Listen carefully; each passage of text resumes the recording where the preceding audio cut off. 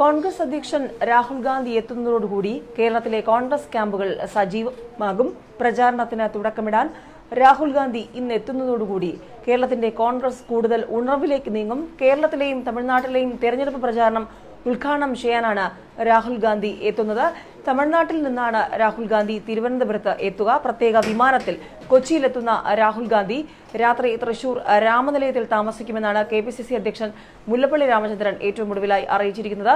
പതിനാലിന് വൈകിട്ട് നാലിന് കോഴിക്കോട് കടപ്പുറത്ത് ജനമഹാറാലിയുടെ ഉദ്ഘാടനത്തോടെ കേരളത്തിൽ കോൺഗ്രസിന്റെ പ്രചാരണത്തിന് രാഹുൽ ഗാന്ധി തുടക്കം കുറിക്കും. അതുകൊണ്ട് തന്നെ പതിനാലാം തീയതി കേരളത്തിലെ കോൺഗ്രസ് പ്രവർത്തകരെ സംബന്ധിച്ച് വലിയ ആവേശത്തിന്റെ ദിനമാണ്. ജനമഹാറാലിയുടെ ഉദ്ഘാടനത്തോടുകൂടി കേരളത്തിൽ കോൺഗ്രസിന്റെ പ്രചാരണത്തിന് രാഹുൽ ഗാന്ധി തുടക്കം കുറിക്കുന്നതോട് വീര്യവും വാശിയും കൂടും. മലബാറിലെ ലക്ഷം പ്രവർത്തകരാണ് പങ്കെടുക്കുക. പതിനാലിന് രാവിലെ പത്ത് തൃപ്രയാറിൽ ഫിഷർമെൻ പാർലമെന്റിൽ പങ്കെടുത്ത ശേഷം പന്ത്രണ്ട് പതിനഞ്ചിന് കണ്ണൂരിലേക്ക് പോവും. കണ്ണൂർ വിമാനത്താവളത്തിൽ കൊല്ലപ്പെട്ട ഷുഹൈബിന്റെ കുടുംബാംഗങ്ങളെ കാണും. ഉച്ചയ്ക്ക് ഒന്നിന് കാസർഗോഡ് പെരിയയിലേക്ക് പുറപ്പെടും.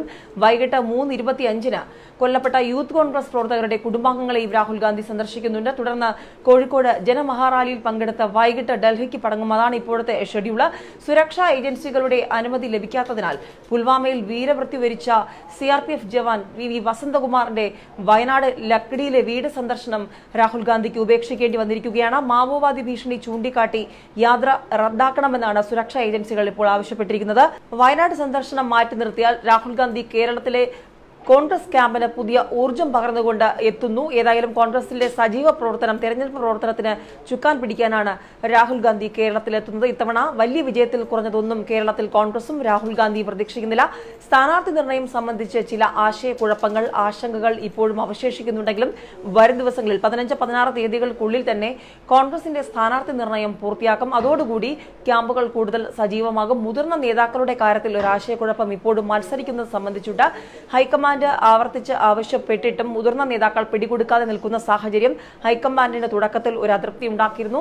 ഉമ്മൻചാണ്ടി അടക്കമുള്ള നേതാക്കൾ മുല്ലപ്പള്ളി രാമചന്ദ്രനും ഉമ്മൻചാണ്ടിയും കെ സി വേണുഗോപാലും അടക്കമുള്ള നേതാക്കൾ കളത്തിലിറങ്ങിയാൽ തെരഞ്ഞെടുപ്പിന് കൂടുതൽ മാറ്റുകൂടും എന്ന് തന്നെയാണ് ഹൈക്കമാൻഡ് കരുതുന്നത്. അതുകൊണ്ട് തന്നെ ശക്തമായ സമ്മർദ്ദം ഉമ്മൻചാണ്ടി അടക്കമുള്ള നേതാക്കൾ മത്സരിക്കണമെന്ന കാര്യത്തിൽ ഇപ്പോഴുമുണ്ട്. ഏതായാലും രാഹുൽ ഗാന്ധി ജനമഹാറാലിക്ക് തിരി തെളിയിക്കുന്നതോടുകൂടി കേരളത്തിലെ കോൺഗ്രസ് പ്രവർത്തകരുടെ ബൂത്ത് തല പ്രവർത്തനങ്ങൾ താഴെത്തട്ടിലുള്ള പ്രവർത്തനങ്ങളോടും ശക്തി പ്രാപിക്കും. ഏതായാലും വലിയ രീതിയിലുള്ള ഒരുക്കങ്ങൾ സുരക്ഷാ മുൻകരുതലുകൾ ഒക്കെ തന്നെയാണ് രാഹുൽ ഗാന്ധിയുടെ സന്ദർശനവുമായി ബന്ധപ്പെട്ട കേരളത്തിൽ ഒരുക്കിയിട്ടുള്ളത്.